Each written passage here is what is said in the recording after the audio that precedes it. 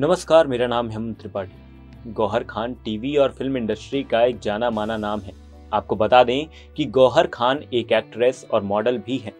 गौहर खान ने यशराज बैनर की film Rocket Singh, salesman of the year से अपना बॉलीवुड डेब्यू किया था। गौरतलब है कि गौहर बिग बॉस सीज़न सात की विजेता भी रह चुकी हैं। हाल ही में गौहर खान जैद दरबार से शादी कर सुर्खियों में बनी हुई हैं। लेकिन क्या आप ये बात जानते हैं कि जैद दरबार से पहले भी गौहर खान का कई सेलिब्रिटीज के साथ नाम जुड़ा था, लेकिन यह आगाज़ अंजाम तक नहीं पहुँच पाया। आपको बताते हैं, इन सेलिब्रिटीज के बारे में जिनके साथ गौहर खान का कभी अफेयर हुआ करता था। एक समय साहिल पीरजादा और गौहर खान के अफेयर की काफ़ी चर्चा थी।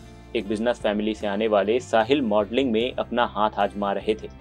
लेकिन साहिल और गौहर के अफेयर की खबर बहुत जल्द ठंडी पड़ गई। और दोनों अलग हो गए। निहार पंड्या, जो दीपिका पादुकोण के भी एक्स बॉयफ्रेंड रहे थे, एक वक्त पर उनका भी नाम गौहर खान के साथ लिया जाता था। खबर यह भी थी कि दोनों ने गुपचुप तरीके से सगाई भी कर ली, लेकिन धर्म इन दोनों के रिश्ते के राह का रोड़ा बना और दोनों ने ब्रेकअप कर लिया। कुशाल टंडन और गौहर खान के रिलेशनशिप में होने की खबर ने तब ज़ोर पकड़ा था जिस वक्त गौहर और कुशाल बिग बॉस सीज़न सात की चर्चित जोड़ी में से एक थे। ये दोनों दस महीने रिलेशनशिप में रहे, लेकिन यहाँ भी धर्म अलग होने के कारण दोनों को अपनी राहें अलग करनी पड़ी थी। लेकिन आज भी गौहर और कुशाल के बीच अच्छी दोस्ती है।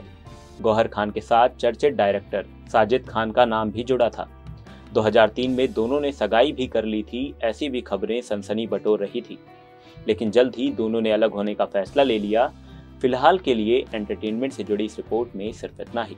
आगे भी एंटरटेनमेंट से जुड़ी ऐसी ही चटपटी खबरों के लिए देखते रहिए हमारा चैनल नेक्स्ट नाइन लाइव धन्यवाद।